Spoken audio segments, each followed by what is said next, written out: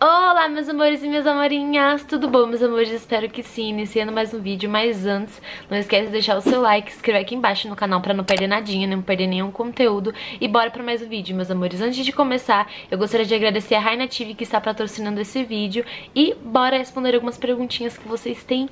Muitas dúvidas gente, muitas dúvidas, então bora responder. E no, canal, no final do vídeo eu tenho uma dica super importante meus amores, então não percam o final do vídeo que vocês têm que saber disso, então fica até o final, assiste tudo e bora pra mais um vídeo que são perguntinhas que vocês querem muito saber. Bom, vamos começar pela primeira pergunta. Mário, você parou com seus estudos? Gente, pra quem me acompanha há um tempinho, né, gente, sabe que não, eu não parei com meus estudos. Inclusive, este ano eu me formo. Então, não, eu não parei com meus estudos. Eu falo sempre pra vocês que quando gravidez, casamento, não impede nada da pessoa realizar os sonhos dela. É claro que muita gente, depois que engravida, para de estudar, mas, gente, sério porque quer, porque dá sim pra estudar, dá sim pra você continuar estudando, mesmo que você comece a estudar à distância. Então, assim, quando você tem força de vontade, você consegue realizar tudo. Desde que eu engravidei, é, eu falei assim, não, eu não quero parar com meus estudos, eu quero continuar, porque é algo super importante pra mim. E este ano, graças a Deus, eu me formo, falta só alguns meses pra mim estar formada. E eu agradeço a Deus por não ter desistido por isso, gente, porque se eu tivesse desistido, então... Não, não desisti dos meus estudos. Mária, você pretende tirar a habilitação? Gente, com certeza é um dos meus focos, mas agora com a Alice bebezinha, eu acho que não vai dar pra mim a fazer agora no início, mas acho que quando ela estiver lá com talvez uns 7, 8 meses, eu tire sim a minha carteira de habilitação, porque é uma coisa que eu quero muito conquistar também, é uma coisa que eu quero muito, muito mesmo, acho que é uma coisa que eu acho muito importante, ter essa dependência também pra quando eu quiser sair, não ter que ficar dependendo de carona, não ter que ficar dependendo, tipo, ai pai, me leva ali pra fazer isso, pra fazer aquilo, não, eu com a minha carteira eu mesmo posso sair quando eu quiser, quiser, fazer as coisas que eu quero.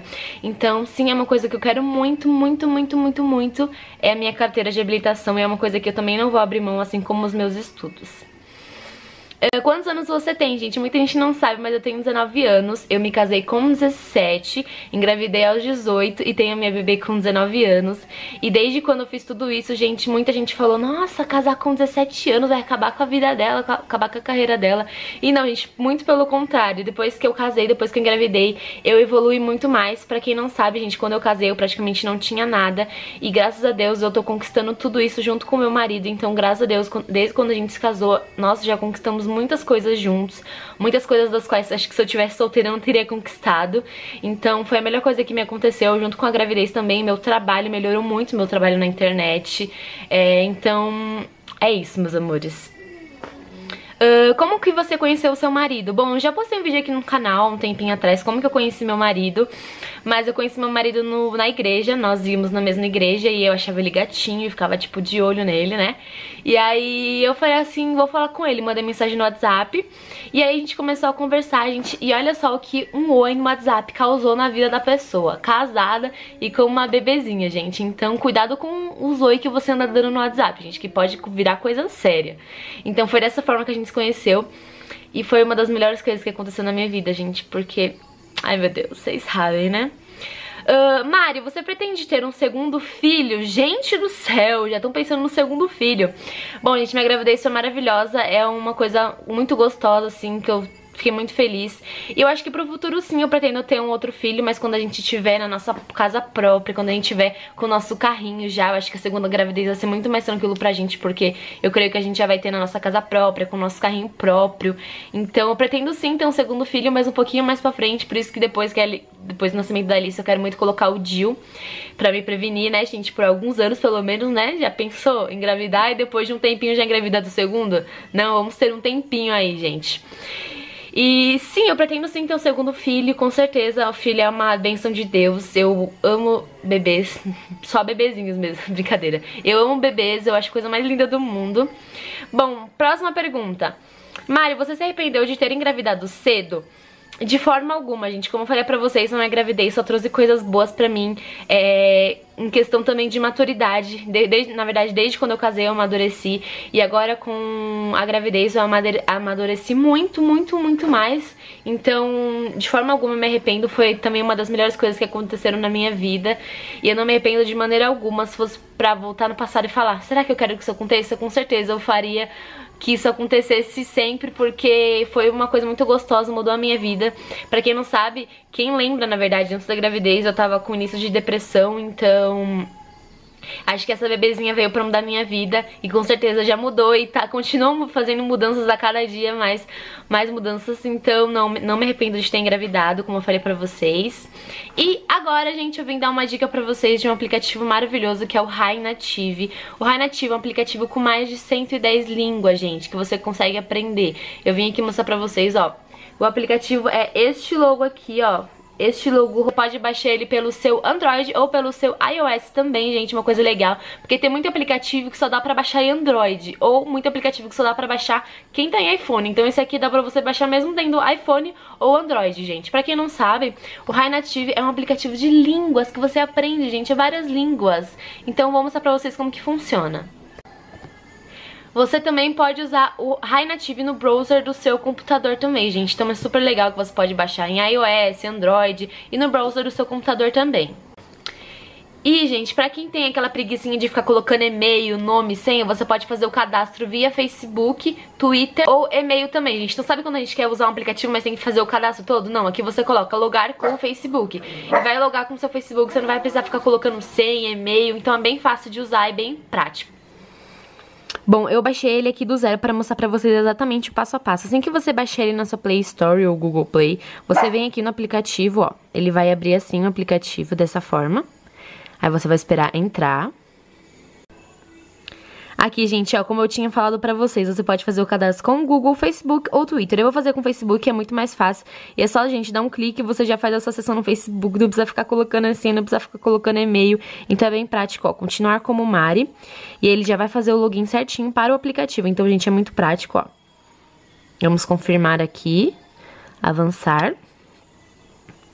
Aí você coloca aqui a sua língua nativa, gente. Sua língua nativa é português. E as suas línguas de interesse. Você pode colocar assim, gente, várias línguas que você quer aprender. Tem de tudo. Tem inglês, irlandês, japonês, tem várias línguas, a gente tem mais de 110 idiomas aqui para você aprender. Bom, vamos colocar que eu quero aprender inglês. E você coloca o seu nível.